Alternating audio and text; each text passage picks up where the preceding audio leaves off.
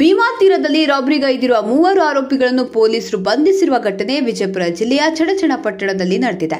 ರಂಜಿತ್ ಕಾಳೆ, ವಿಠಲ್ ಗೂಲೆ, ಸಚಿನ್ ಶಿರಾಕೆ ಬಂಧಿತ ಆರೋಪಿಗಳು, ಇನ್ನು ಆರೋಪಿಗಳು ಮೂಲತಃ ಸೊಲ್ಲಾಪುರದ ಸಾಂಕೋಲೆ ಗ್ರಾಮದವರು, ಅಲ್ಲದೆ ಚಂದ್ರಕಾಂತ ಮಸ್ಕೆ ಎಂಬುವರು ವಾಹನದಲ್ಲಿ ಅಂಗಡಿ ವಸ್ತುಗಳನ್ನು ಖರೀದಿಸಲು ಹೋಗುತ್ತಿದ್ದ ವೇಳೆಯಲ್ಲಿ ಬಂಧಿತ ಆರೋಪಿಗಳು ಬೆದರಿಸಿ ಕಣ್ಣಿಗೆ ಕಾರದ ಪುಡಿ ಹಾಕಿ ಹನ್ನೆರಡು ಪಾಯಿಂಟ್ ಐದು ಲಕ್ಷ ದೋಚಿಕೊಂಡು ಪರಾರಿಯಾಗಿದ್ರು ಇದರಿಂದ ಪೊಲೀಸರು ಮಿಂಚಿನ ಕಾರ್ಯಾಚರಣೆ ನಡೆಸಿ ಆರೋಪಿಗಳಿಗೆ ಹನ್ನೆರಡು ಪಾಯಿಂಟ್ ಮೂರು ಐದು ಲಕ್ಷ ಸಮೇತ ಆರೋಪಿಗಳು ಲಾಕ್ ಆಗಿದ್ದಾರೆ. ಚಡಚಡ ಪೊಲೀಸ್ ಠಾಣೆಯಲ್ಲಿ ಪ್ರಕರಣ ದಾಖಲಾಗಿದೆ. ವರದಿ ಪ್ರಕಾಶ್ ದೊಡ್ಡಮನಿ.